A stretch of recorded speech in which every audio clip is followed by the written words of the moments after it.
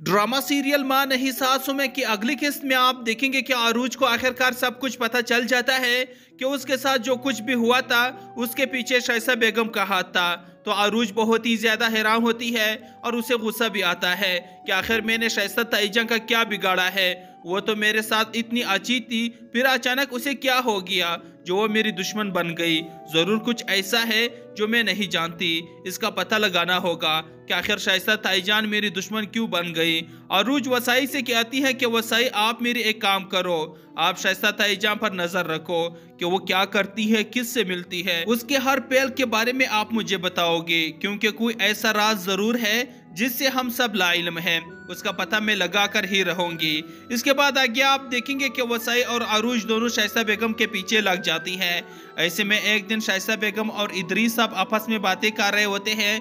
شایستہ بیگم ادری صاحب کو کہتی ہے کہ پتہ نہیں میری ایک کے بعد ایک پلین ناکام ہو رہی ہے۔ عروج کی قسمت اچھی ہے جو وہ بچ جاتی ہیں۔ ادریس آپ ہی مجھے اب بتائے اب اگر مہرین کو پتہ چل گیا کہ عروج اس کی بیٹی عریج ہے تو پھر ہم کیا کریں گے؟ یہ راز کھولنے کے بعد ایک اور راز بھی کھلے گی، اور وہ یہ کہ جب وقار اور مہری کا ایکسیڈنٹ ہوا تھا، تو اس وقت میں نے ہی آریج یعنی آروج کو وہاں سے تھوڑی دور لے جا کر پھینک دیا تھا، تاکہ مہرین کی جو جائیداد ہے، وہ آریج کو نہیں بلکہ ہمارے سلمان کو ملے۔